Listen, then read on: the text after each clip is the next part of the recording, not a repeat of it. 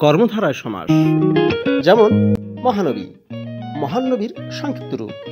সমস্ত পদ বা সমস্যমান পদটিতে দুইটি পদ রয়েছে।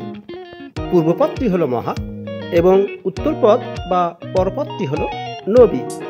অর্থাৎ মহানবী এই শব্দটির ব্যাস বাক্য হলো মহান যে নবী। এখানে নবীকে বোঝানো হচ্ছে যিনি কিনা মহান। এখানে মহান হলো নবীর একটি বিশেষণ।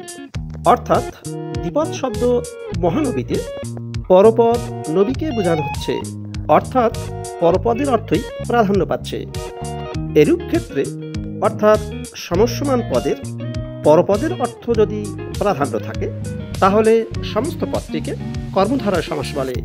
তাই মহানবী শব্দটি একটি কর্মধারায় সমাসের উদাহরণ। Thank you all for watching the video class